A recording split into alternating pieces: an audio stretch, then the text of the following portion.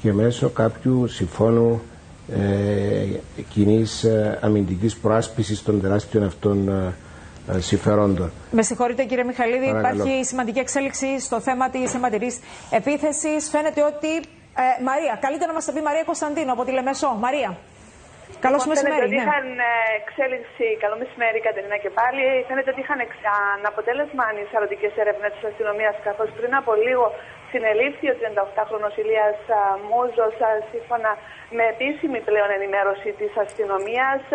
Όπως μας έχει λεχθεί, έχει συλληφθεί στο χωριό Καπηλιό. Είναι ένα χωριό το οποίο βρίσκεται ε, όχι πολύ μακριά από την ε, Λεμεσό ε, και δεν έχουν γίνει βεβαίως γνωστές ε, οι συνθήκες κάτω από ναι. τις οποίες συνελήφθη, όπως επίσης και αν είναι τραυματισμένος ή όχι. Πάντως έχει επιβεβαιωθεί η σύλληψή του και φαίνεται ότι μεταφέρεται από την περιοχή του Καπηλιού όπου εντοπίστηκε και συνελήφθη στην αστυνομική διεύθυνση. Αυτό λένε οι πληροφορίες.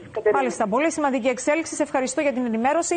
Έχει συλληφθεί ο Μούσος. Ήταν ο 38χρονο, ο οποίος καταζητείται για την αιματηρή επίθεση ε, στη Λεμεσό το βράδυ του Σαββάτου. Είναι ο άνθρωπος που φέρεται να γάζωσε ε, τον αστυνομικό, τον Γιώργο το Γεωργίου, ο οποίος νοσηλεύεται στο Τελαβίβ και δεύτερος αστυνομικός ε, τραυματισμένος. Θα έχουμε κυρίες και κύριοι.